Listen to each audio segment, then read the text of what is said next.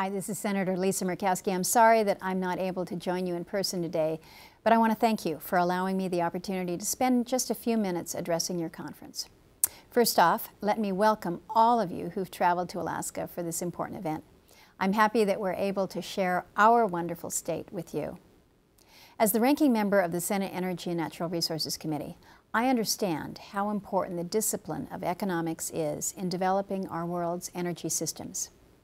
As lawmakers, we must consider the economic impacts of our policy decisions.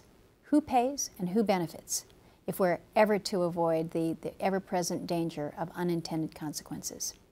So I do appreciate the participation of hardworking and knowledgeable economists like those of you here today in helping shape the policy debates in Congress.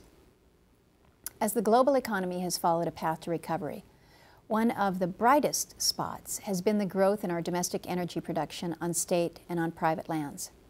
After years of listening to critics contend that the United States was running out of oil, domestic production has risen by 30% over the past five years. We know that that has created thousands of jobs.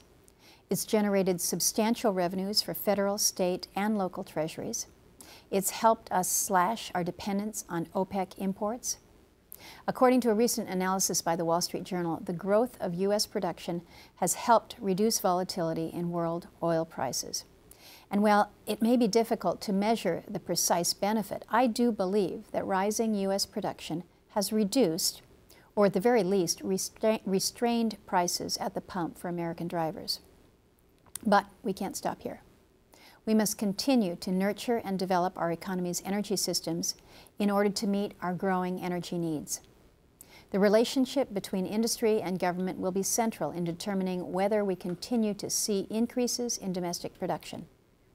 And the federal government holds the keys to so much of our untapped energy resources, areas where access has been difficult. The government's policies will be decisive in determining where Americans get their energy and how much we pay for it. I'm happy that all of you are here to help address this very important question. So let me close by expressing how grateful I am for this chance to speak with all of you. Wish you all the best at the conference, and I look forward to working with you as together we plot a course for our nation towards an ever brighter energy future. Thanks so much.